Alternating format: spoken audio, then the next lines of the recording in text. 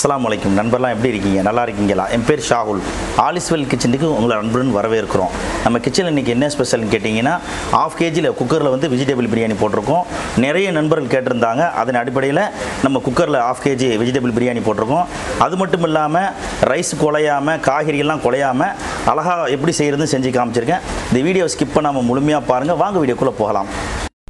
தேவையான பொருட்கள் ஆயில் நூறு எம்எல் நெய் ரெண்டு டீஸ்பூன் பட்டை சிறிதளவு ஏலக்காய் எட்டு கிராம்பு எட்டு அன்னாச்சிப்பூ ஒன்று மராத்தி மூக்கு ஒன்று வெங்காயம் இரநூத்தம்பது கிராம் தக்காளி இரநூத்தம்பது கிராம் இஞ்சி பூண்டு பேஸ்ட் நூறு கிராம் மல்லி இலை அரை கைப்பிடி அளவு புதினா இலை அரை கைப்பிடி அளவு பச்சை மிளகாய் மூணு உருளைக்கிழங்கு நாலு கேரட்டு நாலு பீன்ஸ் எட்டு பச்சை பட்டாணி ஐம்பது கிராம் மிளகாய்த்தூள் ஒரு டீஸ்பூன் காஷ்மீர் மிளகாய்த்தூள் ஒரு டீஸ்பூன் மஞ்சள் தூள் சிறிதளவு தயிர் நூறு எம்எல் பாஸ்மதி அரிசி அரை கிலோ உப்பு ரெண்டு டேபிள் ஸ்பூன் எலுமிச்சம்பழம் அரை பிரிஞ்சி இலை ரெண்டு வாங்க செய்முறை பார்க்கலாம்.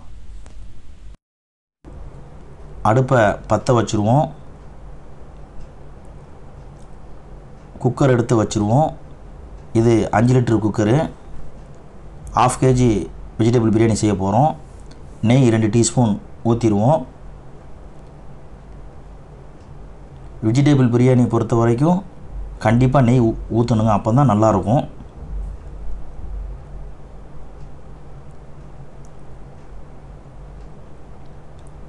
அடுத்தது நூறு எம்எல் ஆயில் ஊற்றிடுவோம்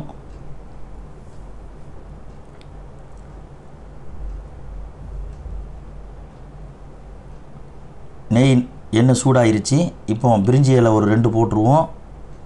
பட்டை சிறிதளவு போட்டுருவோம். எட்டு ஏலக்காய் எட்டு கிராம்பு ஒரு அன்னாச்சி பூ ஒரு மராத்தி மூக்கு போட்டுருவோம். இப்போ அடுப்பை சிம்மில் வச்சுருவோம். எப்போவுமே தாளசம் பண்ணும்போது அடுப்பை சிம்மில் வச்சே தாளசம் பண்ணுங்கள் அப்போ தான் பட்டை கிராம்பு ஏலக்காய்லாம் கருகாமல் இருக்கும். அடுத்தது வெங்காயம். இரநூத்தம்பது கிராம் போடுறோம். எல்லா பிரியாணிக்குமே இரநூறு கிராம் போடுவோம். இந்த வெஜிடேபிள் பிரியாணிக்கு ஐம்பது கிராம் கூட போடுறோம். காரணம் என்னென்னு கேட்டிங்கன்னா இதில் மசாலா கொஞ்சம் எக்ஸ்ட்ரா இருந்தால் நல்லாயிருக்கும்.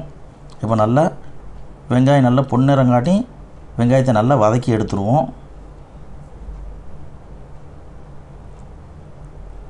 வெங்காயம் நல்லா பொன்னிறம் வந்துருச்சு. இப்போ இஞ்சி பூண்டு பேஸ்ட் நூறு கிராம் போடுறோம். இப்போ இஞ்சி பூண்டு பேஸ்ட்டு நல்லா வதக்கிடுவோம் இப்போ அடுப்பை ஹை ஃப்ளேமில் வச்சுருவோம். இஞ்சி பூண்டுடைய பச்சை வாடை போகிற வரைக்கும் நல்லா வதக்கி எடுத்துருவோம். அப்போ தான் நல்லாயிருக்கும் பிரியாணி.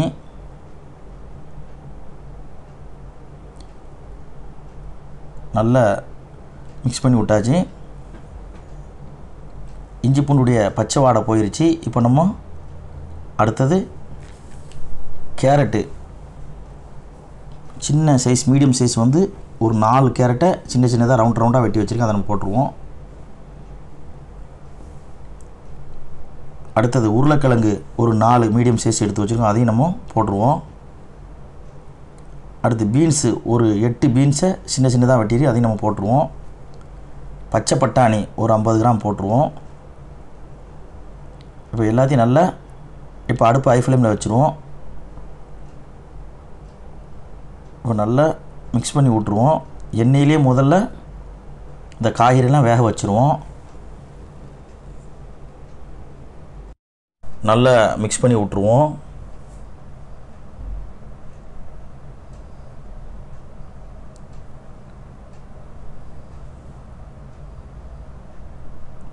எல்லாத்தையும் நல்லா மிக்ஸ் பண்ணி விட்டாச்சு.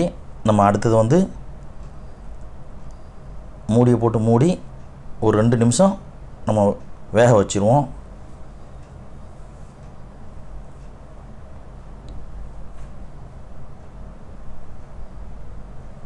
மூடி போட்டு ஒரு ரெண்டு நிமிஷம் வேக வச்சுருவோம்.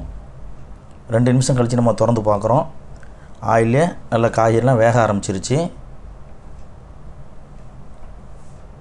ரெண்டாவது நல்லா மிக்ஸ் பண்ணி விட்ருவோம் அடுத்தது தக்காளி இரநூத்தம்பது கிராம் போடுறோம். மல்லி இலை அரை கைப்பிடி அளவு போடுறோம். புதினா இலை அரை கைப்பிடி அளவு போடுறோம். பச்சை மிளகா ஒரு மூணு போடுறோம்.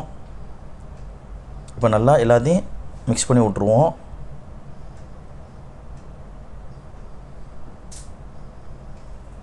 இப்போ எல்லாத்தையும் நல்லா மிக்ஸ் பண்ணி விட்டாச்சும் எல்லாத்தையும் நல்லா மிக்ஸ் பண்ணி விட்ருவோம்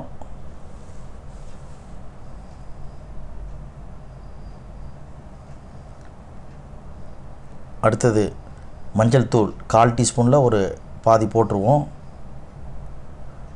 மிளகாய்த்தூள் ஒரு டீஸ்பூன் போட்டுருவோம். உப்பு ஒரு டேபிள் ஸ்பூன் போட்டுருவோம். இப்போவும் நல்லா மிக்ஸ் பண்ணி விட்ருவோம்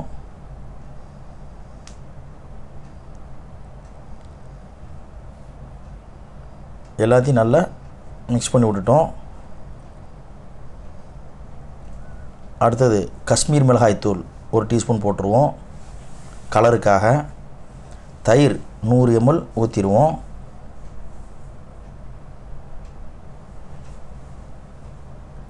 இப்போ எல்லாத்தையும் சேர்த்து மிக்ஸ் பண்ணி விட்ருவோம்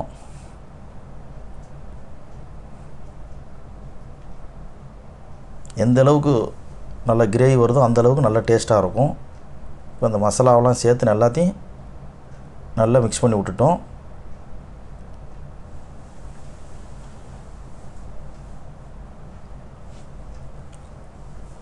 அடுத்தது நம்ம மூடியை போட்டு மூடி ஒரு அஞ்சு நிமிஷம் வேக வச்சுருவோம். அஞ்சு நிமிஷம் கழித்து நம்ம திறந்து பார்க்குறோம். நல்லா ஆயிலெலாம் பிரிஞ்சு வர ஆரம்பிச்சிருச்சு. நல்லா மிக்ஸ் பண்ணி விட்ருவோம் அந்த காய்கறியெல்லாம் மசாலாலே வேக வைக்கிறோம். அடுத்தது நம்ம அளவு தண்ணீர் ஊற்றிடலாம் அரை கிலோ ரைஸுக்கு வந்து எழுநூற்றி ஐம்பது எம்எல் அளவு தண்ணி ஊற்றுறோம் இது தம் பிரியாணி. அதனால் அரை கிலோ அரிசிக்கு எழுநூற்றி ஐம்பது எம்எல் தண்ணி ஊற்றுறோம் இப்போ லைட்டாக மிக்ஸ் பண்ணி விட்ருவோம் இப்போ மூடி போட்டு நம்ம காய்கறி வேகிறதுக்காக நம்ம நல்ல கொதி வந்த பிறகு நல்லா மிக்ஸ் பண்ணி விட்டோம். இப்போ மூடி போட்டு நல்லா கொதி வரட்டும். நல்லா கொதி வர ஆரம்பிச்சிருச்சு. நம்ம திறந்து பார்க்குறோம். இப்போ லைட்டாக மிக்ஸ் பண்ணி விட்டு காய்கறி வந்துட்டான்னு செக் பண்ணிடுவோம். வேகலை.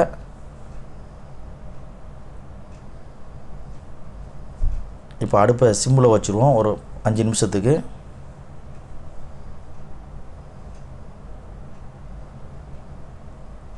அஞ்சு நிமிஷம் கழித்து நம்ம திறந்து பார்க்குறோம்.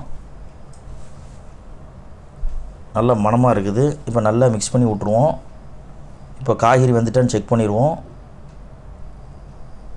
காய்கறி நல்லா வெந்துருச்சு. உப்பு புளிப்பு காரம் எப்படின்னு செக் பண்ணிடுவோம். காரம் கரெக்டாக இருக்குது உப்பும் புளிப்பும் கம்மியாக இருக்குது உப்பு ஒரு டேபிள் ஸ்பூன் போட்டுருவோம். லெமன் சாறு வந்து ஒரு அரை பழம் ஊற்றிருக்கோம்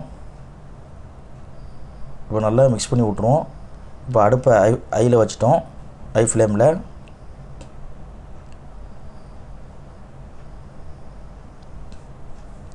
ரெண்டாவது நம்ம உப்பு செக் பண்ணிடுவோம். ரைஸ் போடுறதுக்கு முன்னாடி இப்போ கரெக்டாக இருக்குது உப்பு புளிப்பு காரமெல்லாம் நல்லா கொதி வர ஆரம்பிச்சிருச்சு. இப்போ நம்ம ரைஸை நம்ம போட்டுடலாம். அரை கிலோ பாஸ்மதி அரிசியை அரை மணி நேரத்துக்கு முன்னாடி நம்ம ஊற வச்சுருக்கோம். இப்போ நம்ம அதை ரைஸ் எல்லாம் எடுத்து போட்டுருவோம்.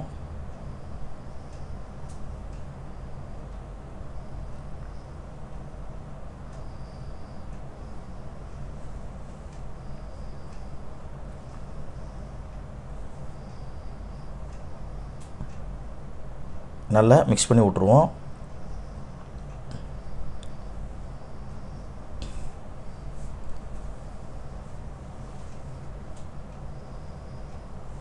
எல்லா ரைஸையும் வலிச்சு போட்டுடலாம்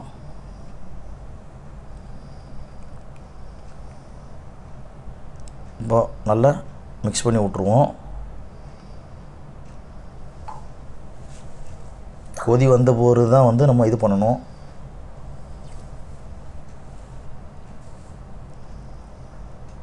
நல்லா கொதி வர ஆரம்பிச்சிட்டு இப்போ லைட்டாக மிக்ஸ் பண்ணி விட்ருவோம் ரைஸை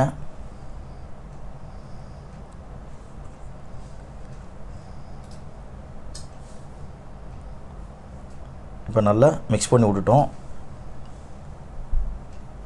அரிசியும் தண்ணி சம அளவு வரும்போது நம்ம தம் போட்டுடலாம். இப்போ அரிசியும் தண்ணி சம அளவு வந்துருச்சு.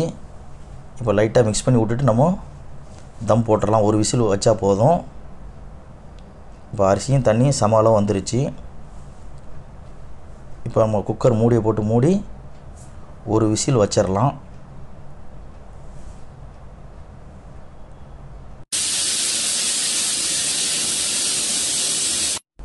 குக்கர் ஒரு விசில் வந்துருச்சு. இப்போ நம்ம அடுப்பை ஆஃப் பண்ணிடலாம். பத்து நிமிஷம் கழித்து நம்ம சூடு அடங்கின பிறகு நம்ம மூடியை திறந்து பார்க்குறோம். மசாலா சூப்பராக வந்துருக்குது. இப்போ நம்ம ரைஸை திருப்பி விட்ருவோம் எப்போவுமே தம் போடும்போது மேலே ரைஸ் கொஞ்சம் விரைச்சிக்கிட்டு இருக்கும். இப்படி நம்ம திருப்பி விடும்போது ரைஸ் எல்லாம் அது சரியாக வந்துடும் பாருங்கள் குலையாமல் உதிரிப்பு மாதிரி வந்திருக்குது. ஏற்கனவே நம்ம சேனலில் முப்பத்தொம்போது பிரியாணி ஐட்டம் போட்டிருக்கோம். வெரைட்டிஸ் பிரியாணி. அது டிஸ்கிரிப்ஷன் பாக்ஸில் லிங்க் கொடுத்துருக்கோம். போய் பாருங்கள் இதே மாதிரி நீங்கள் செஞ்சு பார்த்துட்டு எப்படி வந்ததுன்னு கமெண்ட் பண்ணுங்கள் ஏதேனும் உங்களுக்கு சந்தேகம் இருந்தால் கமெண்ட்டில் கேளுங்க. இந்த வீடியோவை முழுமையாக பார்த்ததுக்கு ரொம்ப நன்றிங்க. என்ன நண்பர்களே இந்த வீடியோ பிடிச்சிருந்தா லைக் பண்ணுங்கள் ஷேர் பண்ணுங்கள் கமெண்ட் பண்ணுங்கள் சப்ஸ்கிரைப் பண்ணாதவங்க சப்ஸ்கிரைப் பண்ணுங்கள் இறைவன் நாடினால் மீண்டும் ஒரு நல்ல ரெசிபியோடு சந்திப்போம். நன்றி.